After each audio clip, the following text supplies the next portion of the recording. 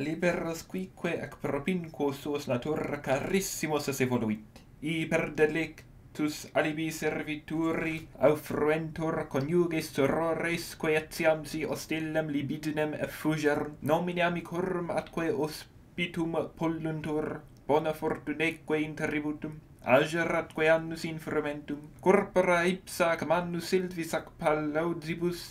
emuniensis inter verbra ac contumelias conteruntur, natta servi tutti mancipia semul veniunt, atque ultra dominis alluntur. Britannia serve tutam suam cocizie emit, cocizie pasci, sicur in familia recentissimus quisque servitor metiam conservis ludibrio est, sic in ocorbis terrar vetere famulatu novi nos et villes in excidium pecimur, neque enim arva nobis, aut metalla aut portus sunt quibus exercensis reserve mor, virtus purro ac ferocia subjectorum ingrata imperantibus, et longinquitas ac secretum ipsum gutulitius eo suspectius. Ita sublatta spe venie tandem subite animum, tam quibus salus quam quibus gloria carissima est. Pregantes femina duce exerui coloniam expugnar castra agnisi felicitas in socordiam vertisset exuere iugo potuere nos integere et undomici et in libertatem non in pen nitentiam laturi. Primo atim congresso ostendamus quos sibi Caledonia veros se posueri. Anead dem romanis in bello virtutem quam in pasce lasciviam ad esse creditis, nostrans illi dissensionibus ac discursis clari vitia ostium in gloriam exercitus sui vetunt, quam contractum ex diversissimis gentibus ut secundi restenent, ita adverse dissolvent nisi si gallos et germanos et pudent sictu britannorum plerosque licet dominationi alieni sanguinem commodent. Tutius tamen ostes conservos fider advectu tenere putatis. Metus ac terror sunt inferma vincula caritatis quae ubi removeris, qui timere disedgerint o disse incepient. Omnia victore incitiamenta pronovis sunt, nulle Romanos coniuges accendut nulli parentis fugam exprobatoris sunt aut nulla plerisque patria aut alia est. Pavicus numero trepidos ignorantia celum ipsum ac mare et silvas in iota omnia circumspectantes. Clausus quoda modo ac vinctos zi nobis residerunt ne terreat vanus aspectus et auri fulguratque urgenti quod neque tegit neque vulnerat. In ipsa ossimacie inveniebus nostras manus agnoscent Britann ni suam causam, recordabantur Galli priorum libertatem, tam deserrent illos ceteri Germani cum nuper usipi reliquerunt, nequi quam ultra forviginis vacua castella, senum coloniae, inter male parentes et injuste imperantes egra municipia, et discordantia ictux ic exercitus ibi tributa et batalla et cetere servientium puene quas in aeternam prefere aut statim ulcisci in hoc campo est proinde iturri in aciem et maiores vesteros et posteros cogitate Excepere orationem alacres, ut barbaris morris fremitu cantuque et clamoribus disonnis. Iamque agmina et arborum fulgores audientissimi quisque procursu. Sibul instruebatur acies cum agricola quamquam letum et vix munimensis coecitum militem accendendum aduc ratus ita disservit. Septimus annus est, combilitiones ex quo virtute et aspicis imperii Romani fide atque opera nostra Britanniam vinciscis. Tot expeditionibus, tot proelis, seu fortugine adversus hoste, seu patientia labore penne adversus ipsam rerum naturam opus fuit neque me militium, neque vos ducis inituitergo egressi. Ego veterum legatorum vos priorum exercitum terminos finem Britanniae non fama nec rubore sed castris et armis tenemus. Inventa Britannia et subacta. Eadem sepe in agmine cum vos paludes montes vet flumina fatigaren, fortissimi cuiusque voces adiebam, quando dabitur rostes, quando animus? veniunt et latebris suis extrusi et vota virtus quae in aperto omnia prona victoribus atque eadem victis adversa. Nam ut superesse tantum itineris evassisse silvas transisse estuaria pulcrum ac decorum in frontem ita fugientibus periculosissima quae odzi prosperrima sunt neque enim nobis aut locorum eadem notitia aut com beatum eadem abundantia sed manus et arma et in is omnia. Quod ad me adcinit iam predem mici decretum est neque exercitus decoiducis terga tuta esse proinde et honesta mors turpi vita potior ec in columnitas ac decus eodem locus sita sunt. Nec in glorium fuerit in ipso terrarum ac naturae fine cicisisse si dove gentes atque idiota acies constituisset aliorb exercitum exemplis vos ortare. Nunc vester dicor recensete, vesters oculus interrogate, i sunt, quos proximo anno unnam legionum futuro noctis ad Gressus clamore debellastis, i ceterorum britanorum fugacissimi ideoque tam dius superstities. O modo silva saltusque penetrantibus fortissimum quodque animal controruere pavida et inertia ipso agminis sono pellebantur, sic acerrimi pertanorum iam pridem cecederunt, reliquis est numeris in javorum et timensium, quos quod tandem invenistis non restituerunt, sed deprensi sunt novissime res et extremo metu turpur de defixere actiam in is vestigis in quibus pulcram et spectabilem victoriam ederetis. Transigite cum expeditionibus Hippolyte quinquaginta annis magnum diem ad probate republice num quam exercitui imputare potuisse aut morras belli aut causas rebellanzi et ad loquente aduc agricola militium ardor emidebat et finem orationis ingens alacritas consecuta est statimque ad arma discursum. Instinctus ruentesque ita disposuit ut peditum auxilia quae octo bilium errant mediam aciem firmarent equitum tria milia corribus ad funderentur. Legiones pro vallo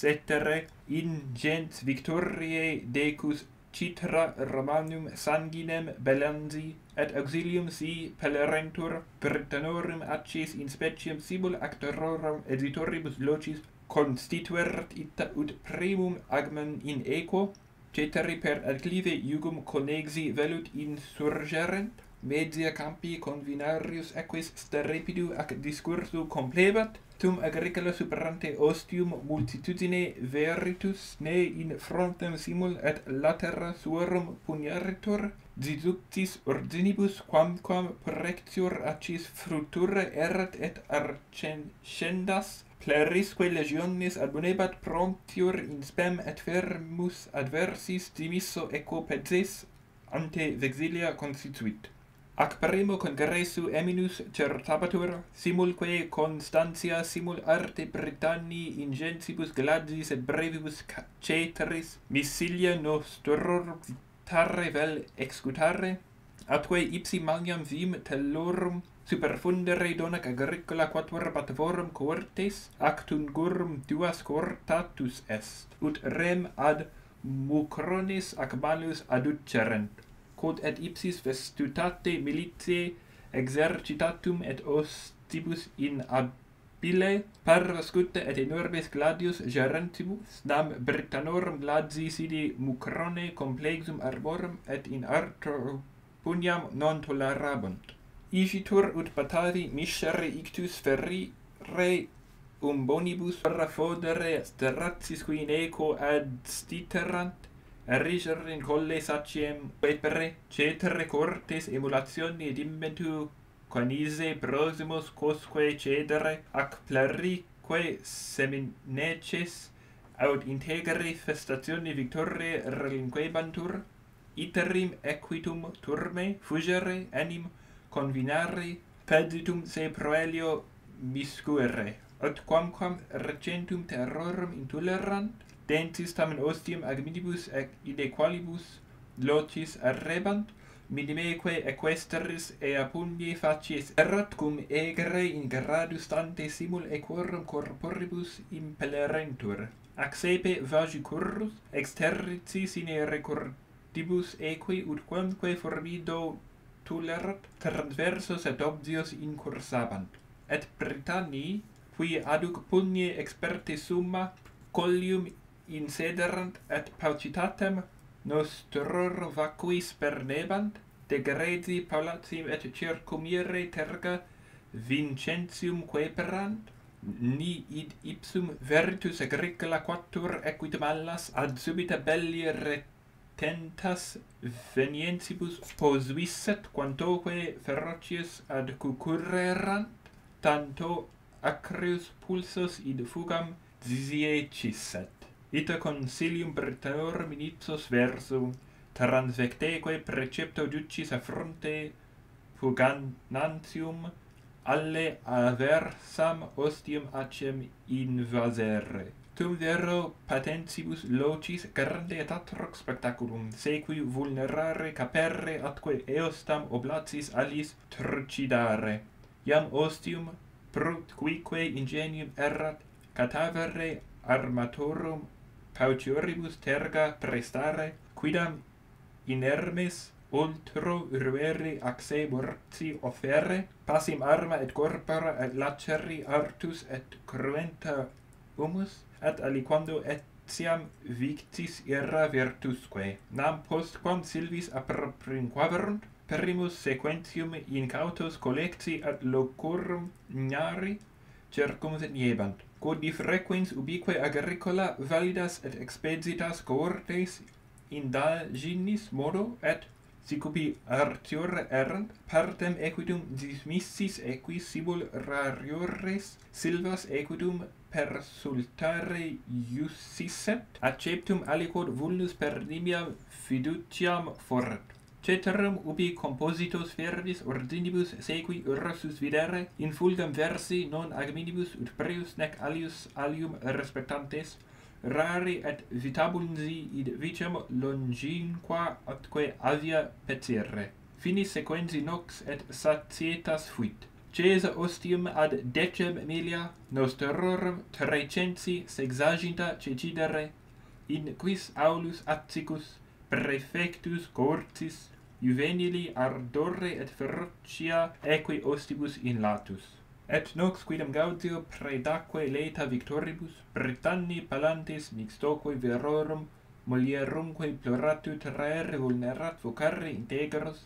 deserere domus, ac per eram ultero ingendere, eligere latebras et satim relinquere, miscere in vicem consilia aliqua, dein separare, aliqua, quando frangi aspectu pignorum suorum sepius concitari, satisque constabat se visse costam in coniuges ac liberos, tamquam misera rentur, proximis dies faciem victore latius aperuit, vastum ubique silentium, secreti colles, formantia procultecta, nemo exploratoribus obvius quibus in omnem partem dismissis, ubi incerta fuge vestigia neque usquam con globare ostes compertum et exacta iam estate spargi bellum nequibat,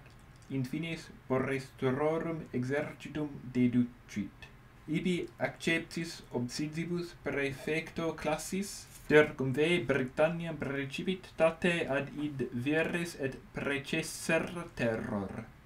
ipsi zitem atque equitis lento itinere quo novarum gentium animi ipsa transitus morra terrentur in Ibernis locavit et simul classis secunde tempestate aquama truculensem portum tenuit unde proximo Britanniae litorre prelecto omnis regierat. Unc rerum cursum quam quam nulla verborum iactantia et qui agricole auctum, ut Domitiano morris erat fronte letus pectore anxius excepit. Inert conscientia deserui fuisse nuper falsum e Germania triumphum emptis per commercia quorum auditus et carinis in captivorum speciem forbarentur. At nunc verra maniamque victoriam tot milibus ostium cesis ingensi fama celebrari id sibi maxime formidolosum privati hominis domen super principis attoli frustra studia furri et civilium artium decus in silentium acta si militar gloriam alius occuparet. cetera ut cumque facilis dissimulari ducis bodi hypertoriam virtutem esse talibus curris exercitus quodque seve cogitationis indicium ert sec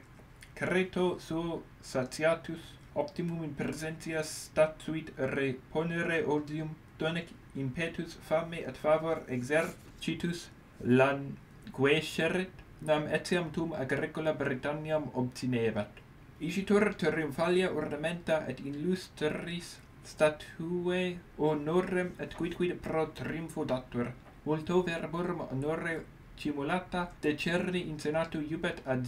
quae id super opinionem seriam briciam agricole destinari, vacuam tum morte acili rufi consularis et maioribus reservatam, credidere clerique libertum ex secretioribus ministris pissum ad agriculum codicilos, quibus ei seria dabatur, tulisse cum precepto upsi in Britannia fort, traderentur, eumque libertum in ipso fretto oceani obsium agricole, ne appellato quidem eo ad dominatium re measse, sive verbistud, sive ex ingenio principis fictum ad compositum est. Exerciterat terim agricola successori suo princiam quietam tutamque ac ne notabilis celebritate frequentia occurrentium. Introitus esset vitato amicorum officio noctu in urbem, noctu in palatium ita ut preceptum erat venit. Ceptusque brevi osculo et nullo sermone turbe servientium in mixtus est. Ceterum utsi militare nomen grave inter ociosos alis virtutibus tempus sperar tranquillitatem atque ostium penitus ausit cultu modicus sermone facilis uno aut altero amicorum comitatus adeo ut plereque quibus manios veros per ambitionem estimare vos est viso aspectoque agricola quererent famam pauci interpretarentur.